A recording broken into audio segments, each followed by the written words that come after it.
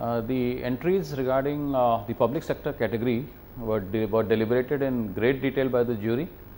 A lot of thought and deliberations and detailed discussions went into all the entries, and we had a really tough time in deciding the winner.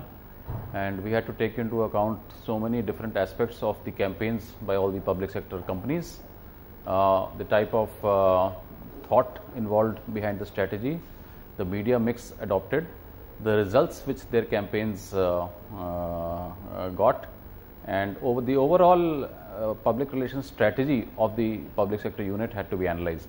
And based upon that, we have decided to award a gold medal to the winner, which the jury felt were the best this year.